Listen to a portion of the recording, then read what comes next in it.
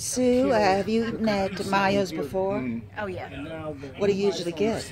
Um, you know, I, in the very beginning, I got their French toast that is wrapped in cornflakes and is a sin.